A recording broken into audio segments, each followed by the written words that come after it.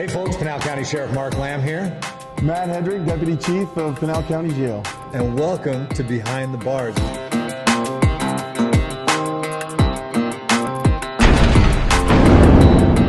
As you can see, we're sitting in here uh, in our jail, and I'll tell you what, a lot of crazy things happen in these jails every day across America. This is life, and you're going to see life within our facility and how people react to uncomfortable situations.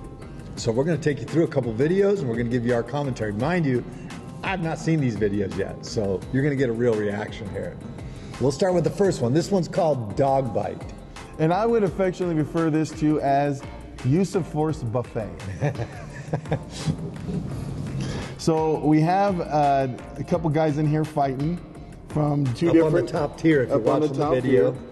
And they are fighting over um, their their status within each criminal set.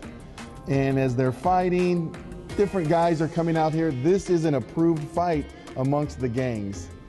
Um, we're watching. Uh, some guys are keeping others from jumping in. They're going to let this play out as long as they can. Um, and you're about to see. Here comes the dog.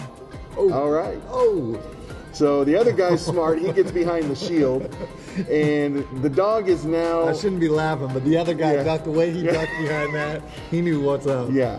So he's been becoming acquainted with the dog.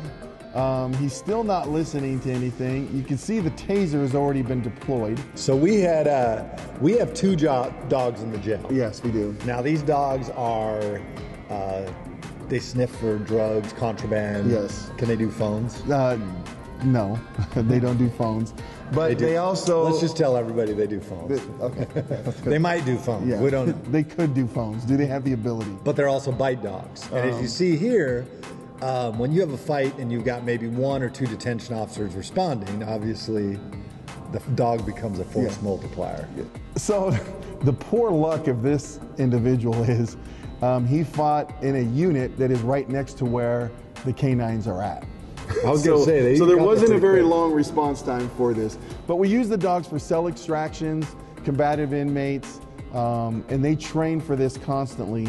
Not only was he honestly getting beat up, I thought he was losing the fight. He was losing the fight. and the dog comes in and the dog bites him first.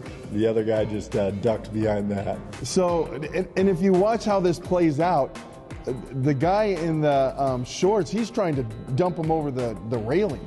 So now it becomes a fight for life, and the guy with the towel over his head, he now turns the table on him and ends up just putting the whooping on him. Boom, boom, boom, boom, boom, slapping him up. He's trying to get away.